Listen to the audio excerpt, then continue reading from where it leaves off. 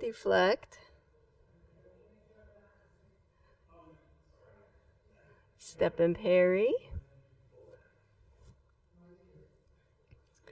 And punch.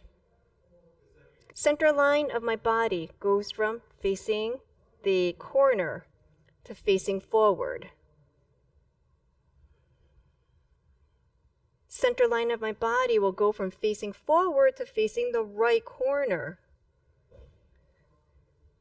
Here, when this hand makes a circle, the left foot comes up, forward, and down. This is going to make this circle because the body's turning, but it's not doing anything extra. Every single movement where it feels like, ah, it's not working. Why is it not working?